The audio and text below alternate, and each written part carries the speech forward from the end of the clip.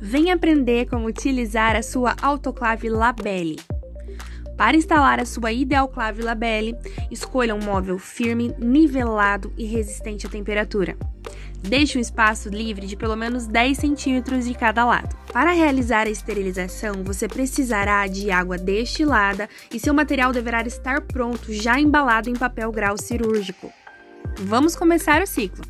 Ligue a sua autoclave em uma tomada exclusiva e de voltagem compatível. Retire a bandeja interna e adicione 250 ml de água destilada em sua labelle. Reinsira a bandeja interna e posicione sobre ela o seu material já embalado em papel grau cirúrgico. Feche a tampa corretamente até que ela se encaixe e fique firme.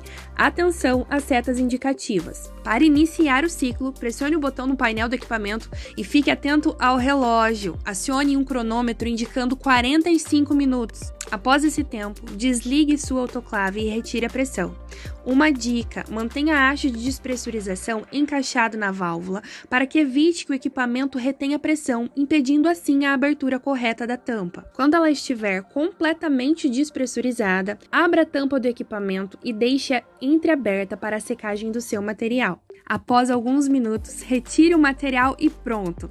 A sua autoclave estará pronta para um novo ciclo. Caso identifique que o seu material ainda permanece úmido, realize a secagem extra conforme a orientação do manual.